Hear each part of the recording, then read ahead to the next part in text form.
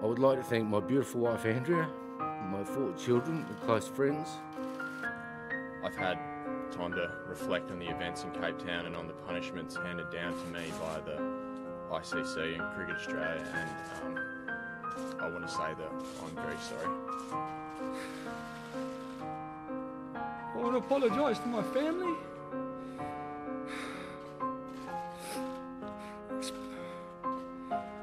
Especially my wife and daughters. I love the game of cricket. I, I love entertaining young kids. I love kids wanting to play the great game of cricket um, that I love. Um, the two other things is anytime you think about making a, a questionable decision, think about who you're affecting. You're affecting your parents and to see the way my old man's been and, Thanks, everybody. and my mum, it's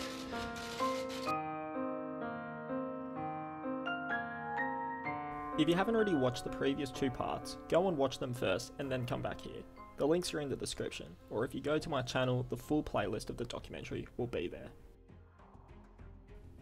So, Smith, Warner, and Bancroft are out for essentially 12 months of cricket after what occurred in Cape Town. The South African series, for all its cricketing highlights, is suddenly in the rearview mirror, and suddenly Australia has to try and survive without some of its best players ever. In this concluding episode, we're going to look at Sandpaper Gate's impact through two lenses.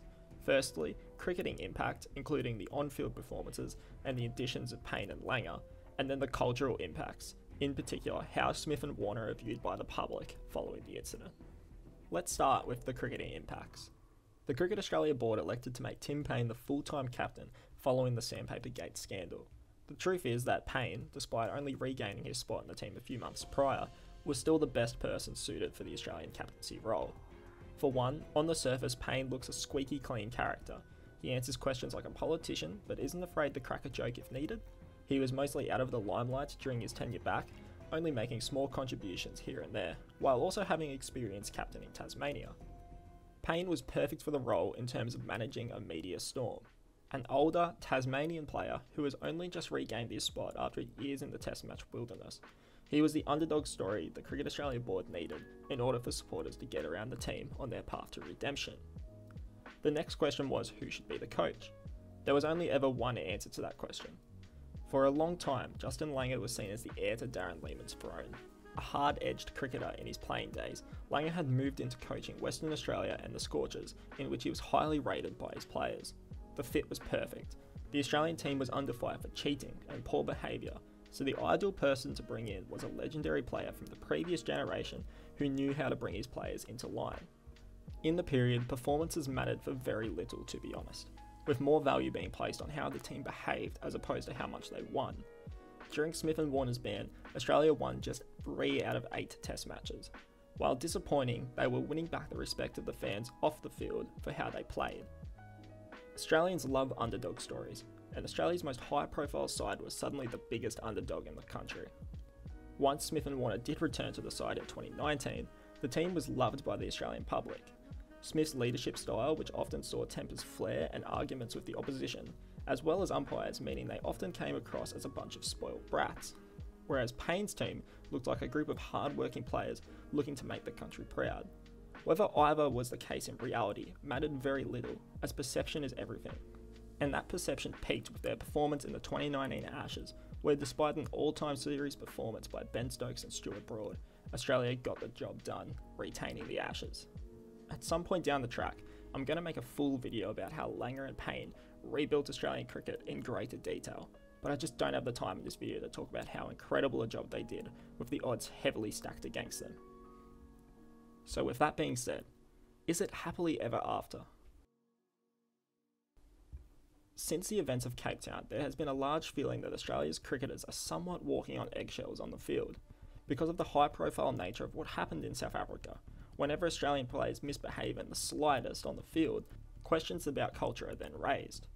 Following Sandpaper Gate, everyone said their piece about Australian cricket in terms of behaviour, with some like Stuart Broad the most interesting given that he once middled one to first slip and didn't walk. But even after the many years following the scandal, there still seems to be a magnifying glass closely trained on the behaviour of the Australian cricket team. One key example is that of Steve Smith during the SCG test in 2021. After scoring an incredible century in the first innings of the match, Smith merely shadow batted and then marked centre on the crease while fielding in India's fourth innings. The act was harmless. Smith was shadow batting left handed to see things from Pant's perspective before turning around to mark centre. Ask yourself seriously would you consider that cheating? Players often do things in the field that may be considered stupid or slightly out of line, but cheating? I wouldn't think so. Does a player cheat if they leave their crease early for a run? No, but it is against the rules. In a sport with as many grey areas as cricket, there is no doubt that often the lines are blurred between what makes someone a cheat or not. Sandpaper on the ball is cheating, not marking the centre. The media, however, had a field day, with a number of experts having their say and branding Smith's act as cheating. If this wasn't Steve Smith, but a player from a different nation, I just wouldn't see it being this big of an issue. This is the perfect example of the hole the Australian cricket team dug itself into when they committed the act in Cape Town. For the lengths of these players' careers, extra focus will be placed on their on field behaviour and acts. Another impact of Sandpaper Gate is how Cricket Australia branded the players following the scandal, and in particular how they turned David Warner into the scapegoat for the incident. If we rewind to the previous episode, you'll remember I pointed out that apparently Warner was the ringleader behind what happened in Cape Town. And while the suggestion of players since then has been that it was the case, there is zero concrete evidence of that being his specific role in the scandal. Warner has been silent, and to his credit, has not disclosed the true actions of everyone in the dressing room that day. But what has become of Warner since Sandpaper Gate is the view that he is the one to blame for what occurred in Cape Town. That is largely down to the message conveyed by Cricket Australia in regards to the bans handed down. Warner got the harshest punishment. Alongside his one year ban, he was also banned from any leadership position in the team for life, whereas Smith only received one year extra. It was a bizarre part of the punishments, given that Smith was the physical captain of the team. I think most expected Warner to receive the same punishment as Smith. Some have speculated that maybe Warner's key role in the players' pay dispute in 2017 may have been part of the decision, suggesting that Cricket Australia may have wanted to get one back over the opener. The most distasteful of the events around David Warner's career since the scandal is that when attempting to appeal the verdict last year, Cricket Australia returned with a negative message, stating that yes, he can appeal, but a final public inquiry would have to be made in order for Warner to regain his leadership positions. Some described it as a public lynching. In essence, Cricket Australia was looking to use Warner's appeal as some way of painting themselves as the shining light, attempting to cleanse David of his past misbehaviours. Understandably, Warner wanted no part in that, and why would you? After being branded as the destroyer of Australian cricket for so long, why would he want to prolong the pain his mistake caused for him and his family? The potential gain from the trial wasn't worth it for the negative publicity it would create.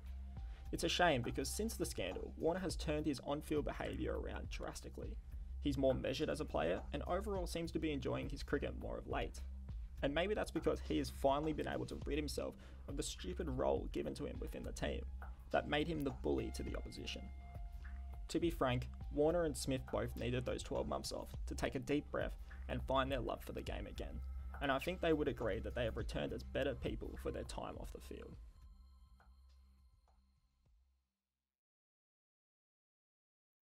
Sandpaper Gate was a disaster for not just Australian cricket, but cricket as a whole. It shook how we understood the game, the players, and the external factors often forgotten outside of the boundary. Smith, Warner, and Bancroft were the chief orchestrators behind what happened in Cape Town. The captain and vice captain had created a culture in which winning was the absolute number one priority, no matter the consequences. However, when the consequences came, they were far worse than any of these three could have ever imagined. What can't be understated, however, is the role Cricket Australia played in the incident. The way they advertised their players for their own gain, just to tear them down when it suited them, only to build them back up again, is one of the lesser talked elements of the scandal. Smith and Warner eventually found their redemption. Warner learned to once again enjoy and find the satisfaction for cricket which seemed to elude him for so long. He struggled in his first series back, but upon returning home found his groove again. And oh boy, when Davey Warner gets going, it is so bloody good to watch. Steve Smith, the man dubbed the best since Bradman, plundered England in the 2019 Ashes, with even the most die-hard of England fans and pundits standing to clap the batter when he was dismissed for the final time in the series.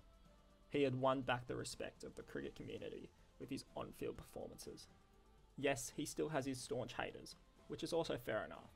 Not every player needs to be liked. Everyone has their own favourites and ones they don't like as much. And to be honest, after South Africa, there is enough reason to hate Steve Smith. But it feels as though even the strongest of haters of Smith, as well as David Warner and Cameron Bancroft, have found a way to respect them once again. Cricket fans have chosen this path for them, and they haven't done it by just scoring hundreds and taking great catches. They've done it with how they have carried themselves and acted post Sandpaper Gate. That is the leading currency for players in gaining love from fans. I truly believe that time heals all wounds, and slowly but steadily, the cricket community is beginning to forgive. But we must not forget the events of Cape Town 2018. Sandpaper Gate and all that occurred in the lead up, as well as the aftermath, is an important lesson for all cricketers in regards to what happens when you betray the love that millions have for the sport. We still don't know the ins and outs of the madness that occurred in the change rooms at Newlands, and so many questions are still left unanswered. Many have said that once the players write their autobiographies post retirement, the information will be released, but I just don't see this happening. This Australian team is tight, and there still seems to be strong relationships all through the team. After what occurred in Cape Town, for that to be the case is incredible. For a team to be so broken, so disgraced, and so ruined to earn back the respect of the public is nothing short of mesmerising, and something unique to this team. And maybe that is because deep down, Aussies still have that affection for the Australian cricket team, because it is the nation's team, and the nation was betrayed by Sandpaper Gate, and the imagery of that crazy time in Australian sport will truly live in all of our minds forever.